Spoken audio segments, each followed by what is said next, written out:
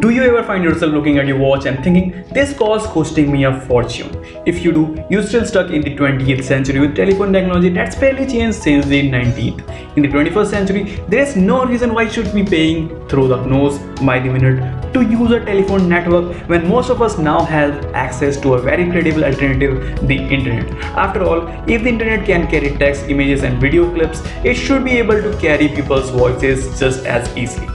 That's the thinking behind voice over internet protocol which simply stated means using the internet to make and receive telephone calls.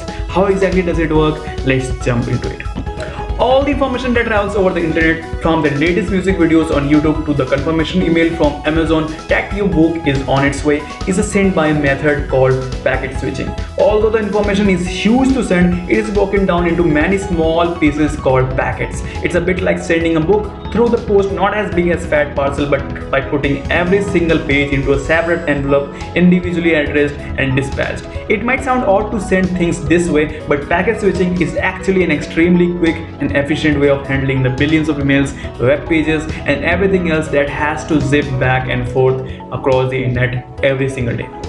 How then do you send a telephone call over the internet? There are really three separate problems to solve before you can do it. Alerting someone that you want to call them, turning your voice into digital sound and sending it over the internet. When you make a traditional telephone call to a friend, it creates a wide circuit when the call is connected.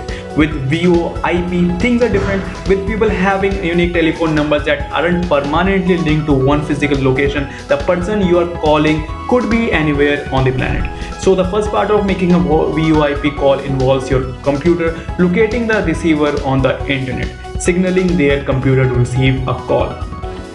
Next step is to send a basic telephone call over the internet. You have to turn a speaker's voice into digital form. That's relatively easy and the technology has been around for many years. The piece of software responsible for this process converting audio sound onto digital data and back again at the other end is known as a codec.